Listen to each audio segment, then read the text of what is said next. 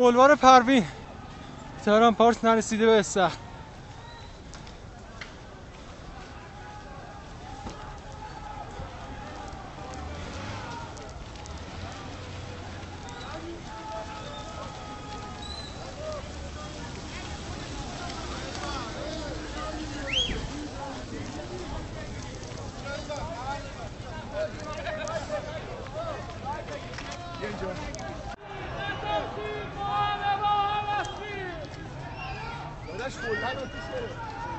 تهران پارس.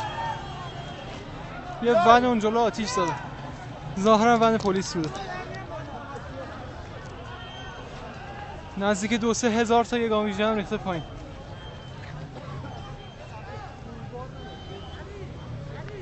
بالا هم گذشت کاور زده.